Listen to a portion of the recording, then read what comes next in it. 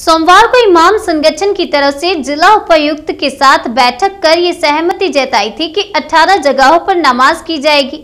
विवादित जगहों पर अब नमाज़ नहीं होगी, लेकिन मंगलवार को मुस्लिम संगठन के दूसरे धड़े ने इस बात का विरोध करते हुए जिला उपायुक्त को ज्ञापन सौंपा है कि नमाज़ के लिए 18 जगह कम है, इसलिए जिला प्रशासन दूसरी जगहों को उपलब्ध कराएँ जिससे शांति से नमाज़ पूरी हो सके। आज दिए ज्ञापन में आरोप लगाया है, कुछ मुस्लिम संगठन के लोग आरएसएस के साथ साठगांठ करके बेवजह अपने निर्णय प्रशासन के सामने रख रहे हैं।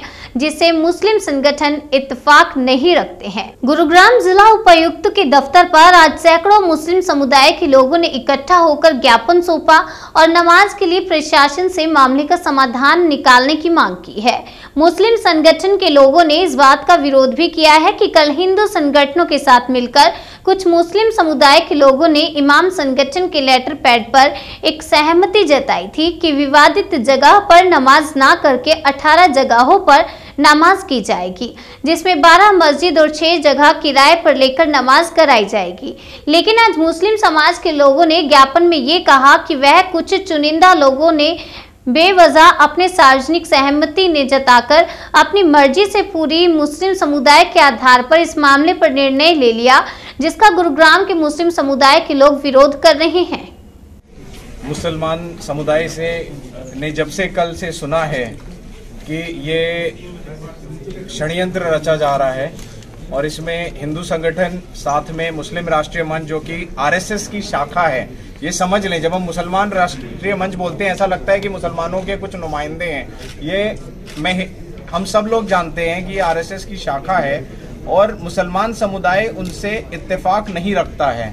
बिल्कुल यानी कि उनसे अग्री नहीं करता है जो उनका पर्पस है वो मुसलमान के क्या कोई एग्री एग्री करता है कोई? कोई agree नहीं करता। कोई एग्री नहीं करता। मुसलमान के हितों के लिए वो वो मंच काम नहीं कर रहा है और वो एक दो चार ऐसे रिजवी घूम रहे हैं। इन रिजवियों को हम नहीं मानते और पूरी तरीके से नकारते हैं।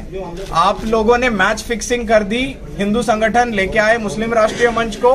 और बोला, ये मुसलमानों के समुदाय समुदाय के रिप्रेजेंटेटिव्स हैं, इनके नुमाइंदे हैं। ये बिल्कुल गलत है। यही बात हम आज सामने रखने आए हैं डीसी साहब के, कि ये तीन नवंबर को भी हुआ था, हम तब भी आए थे, लेकिन इस बार हमारी क्लियर डिमांड है कि आप इस तरीके का षडयंत्र के अंदर कहीं भी, किसी भी तरीके से आपका रोल ना रहे। 2018 में 37 जगहें चिन्हित हुई थी।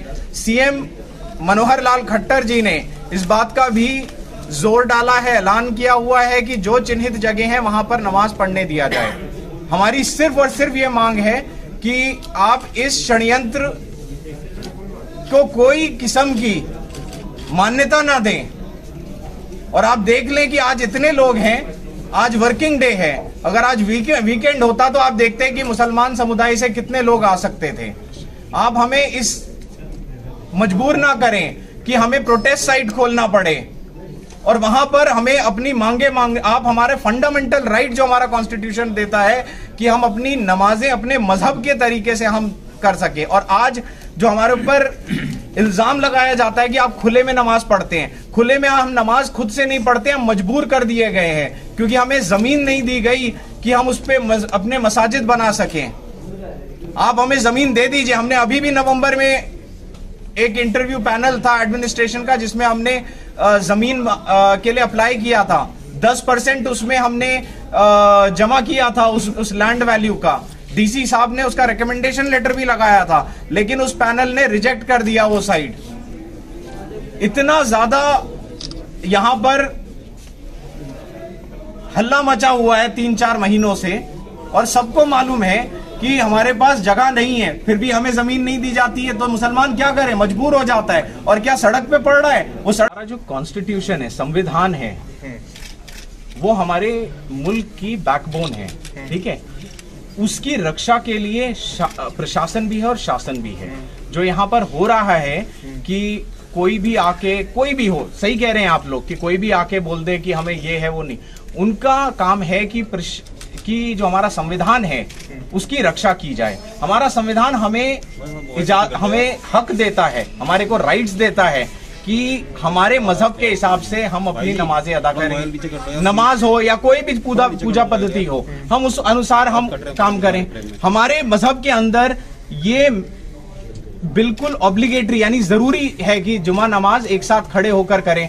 जो झूठ भ्रम फैलाया गया कि आप अपने घरों में पढ़ लें आप यहाँ पढ़ लें। आप मैं, मैं उसी बात का जवाब दे रहा हूँ। आप जैसे मैंने रोका नहीं आपको मैंने आपको रोका नहीं आपके सवाल में आप मुझे रोके जवाब कहीं और जा रहा है मैं आऊँगा सब बाँध दूँगा ठीक है तो ये संविधान की रक्षा के लिए हैं और यहाँ पर काफ़ी तादाद में लोग आए हैं और उनको बताने आए हैं कि नंबर एक मुस्लिम राष्ट्रीय मंच हमारी नुमाइंदगी नहीं करता है क्योंकि आरएसएस हमारी नुमाइंदगी कभी नहीं कर सकता है। वो दो तीन लोग ले आते हैं अपने साथ, उससे नहीं चलेगा। ठीक है, हम बात यहाँ पर नहीं है, वो यहाँ के हैं, नहीं है, वो दूसरी बात है। बिल्कुल, मुस्लिम राष्ट्रीय मंच हमारी नुमाइंदगी नहीं करता